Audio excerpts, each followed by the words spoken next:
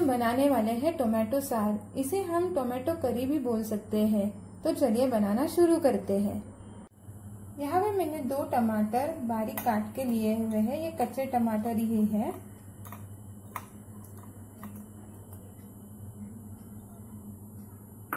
आधा कटोरी किसा हुआ नारियल। एक छोटा प्याज। प्याज हमें कम ही डालना है, सिर्फ़ स्वाद के लिए डाल रहे हैं हम प्याज। छोटा चम्मच, छोटा आधा चम्मच धना दाना। ये टेस्ट बहुत अच्छा देता है। दो लाल सूखी मिर्च दो से तीन लहसुन की कलिया। स्वादानुसार अभी हम नमक डाल रहे हैं आधा चम्मच। और आधा छोटा चम्मच लाल मिर्च पाउडर। ये थोड़ी ही डालनी है, नहीं तो इसका टेस्ट बहुत ही तीखा हो जाता है। दो टमाटर के लिए मैंने आधा चम्मच ही लाल मिर्च पाउडर यूज़ की है। और पहले हमने मैंने ये जो सूखी मिर्च इस्तेमाल की है, वो तीखी है। अभी हम इसमें, इसका बारीक पेस्ट बना लेंगे। इसमें मैं पानी का फ़िलहाल तो इस्तेमाल नहीं करने वाली हूँ। अगर आपको लगे कि पानी डालना है तो सिर्फ़ आधी कटोरी ही पानी डालिए। यहाँ पे हमारी पेस्ट बनकर रेडी है। अभी हम आगे की प्रोसेस करते हैं।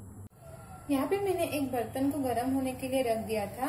अभी मैं इसमें एक चम्मच तेल डाल रही हूँ। जैसे ही तेल गर्म हो जाए, हम इसमें आधा चम्मच राई डाल देंगे।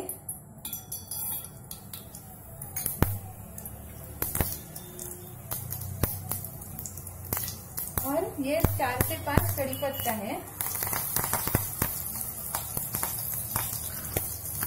अभी हम इसमें जो पेस्ट बनाई है, वो डाल देंगे।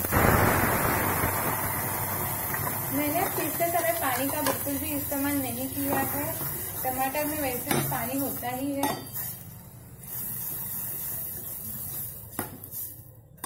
अभी मैं इसमें आधा कटोरी पानी डाल रही हूँ।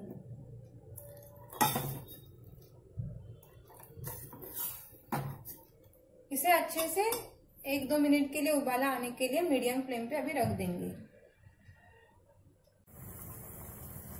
दो मिनट बाद अभी इसमें उबाला आना शुरू हो गया है। इसकी कंसिस्टेंसी भी एकदम बराबर है। ज़्यादा पानी का इस्तेमाल करेंगे तो ये सूप हो जाएगा इसका। हमें सूप नहीं सार बनाना है। अभी मैं इसमें आधा चम्मच शक्कर डाल रही हूँ।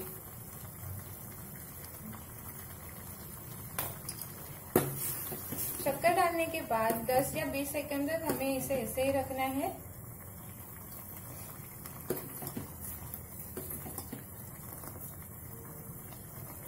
अभी मैं गैस का फ्लेम बंद कर रही हूँ। हमारा टोमेटो सार बनकर यहाँ पे अभी रेडी है। मैक्सिमम पाँच से सात मिनट लगते हैं इसे बनाने के लिए।